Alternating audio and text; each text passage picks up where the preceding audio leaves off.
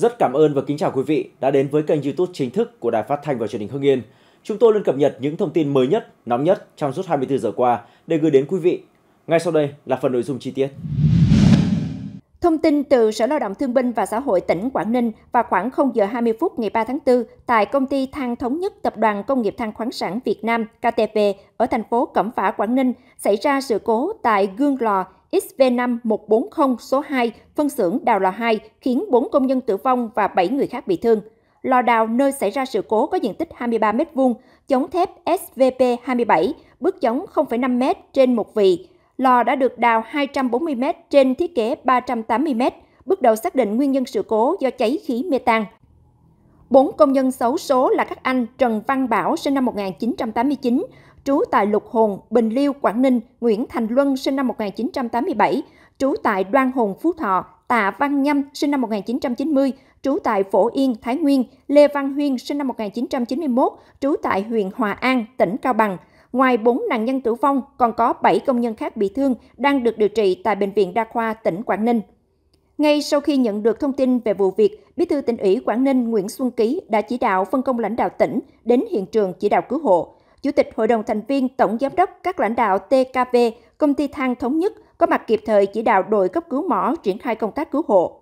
Đến khoảng 3 giờ 15 phút ngày 3 tháng 4, công tác tìm kiếm cứu nạn đã kết thúc các cấp chính quyền công ty than thống nhất đang phối hợp hỗ trợ gia đình đưa nạn nhân về lo hậu sự chu đáo. Sáng cùng ngày, ông Nghiêm Xuân Cường, Phó Chủ tịch Ủy ban nhân dân tỉnh Quảng Ninh cùng đoàn công tác đã đến bệnh viện thăm hỏi động viên, trao hỗ trợ cho các công nhân bị thương và gia đình các nạn nhân. Cụ thể, tỉnh Quảng Ninh hỗ trợ 20 triệu đồng một người, trong tỉnh tử vong 18 triệu đồng một người, ngoài tỉnh tử vong hỗ trợ 5 triệu đồng một người bị thương. Nguyên nhân sự cố đang được các cơ quan chức năng tỉnh Quảng Ninh điều tra làm rõ. Trước đó, tại Quảng Ninh cũng xảy ra vụ sập hầm lò khiến 4 công nhân tử vong. Sự việc xảy ra vào tối ngày 26 tháng 8 năm 2023 tại phân xưởng khai thác 3 công ty cổ phần than vàng danh. Thời điểm xảy ra vụ việc, địa bàn xuất hiện nhiều trận mưa với lưu lượng từ 30 đến 70 mm dẫn đến khu vực này bị ngấm nước.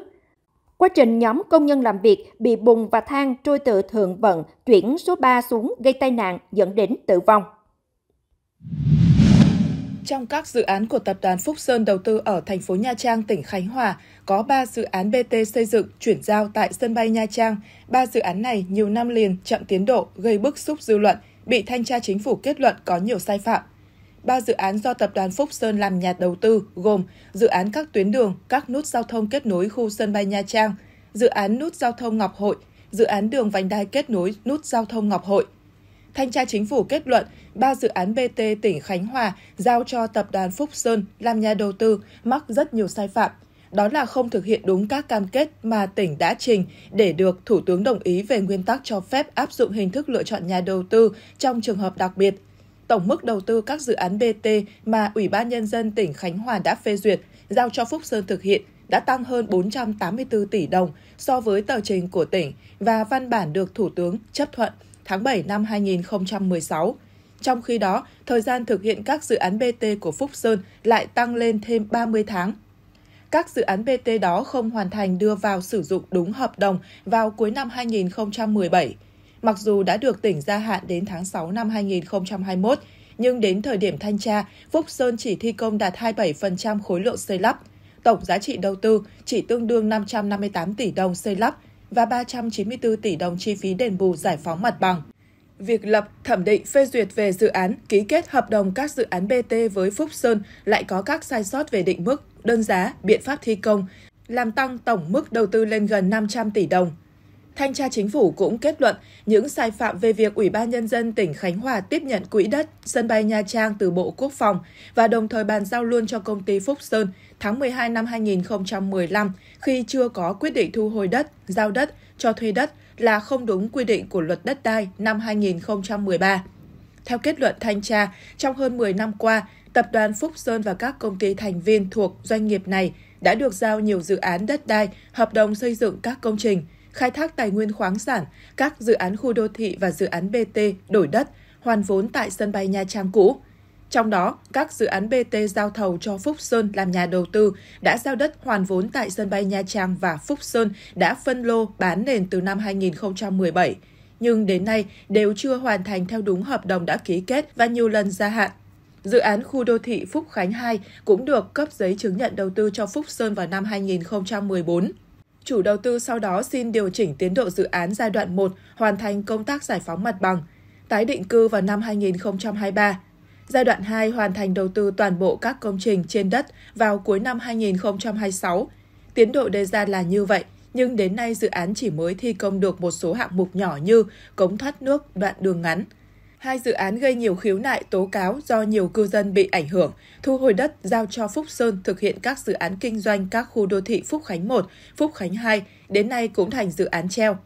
Theo Trung tướng Tô Ân Sô, để dẫn đến vi phạm trên có thể thấy trách nhiệm của cơ quan quản lý là không kiểm soát hoạt động kê khai tài chính. Mặc dù doanh nghiệp không thực hiện đầy đủ nghĩa vụ tài chính, thuế mà vẫn hoạt động, không nắm được năng lực thực tế của doanh nghiệp khi nhận dự án.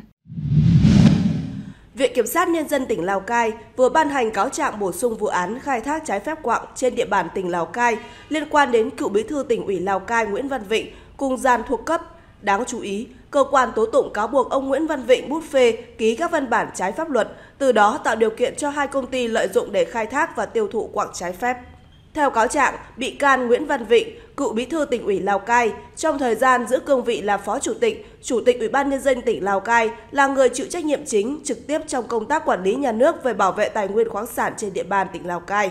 Song, quá trình thực hiện nhiệm vụ được giao đã làm trái công vụ. Ông Vịnh cùng nhóm bị can là cựu lãnh đạo Ủy ban nhân dân tỉnh, Sở ngành tỉnh Lào Cai đã ký các văn bản, giấy chứng nhận đầu tư trái quy định của pháp luật để cấp 3,77 hecta đất tại thôn 2 xã Đồng Tuyển, thành phố Lào Cai cho công ty Lilama xây dựng dự án khách sạn nhà hàng. Dù biết rõ diện tích này đã được Bộ Công Thương phê duyệt quy hoạch mỏ quặng apatit.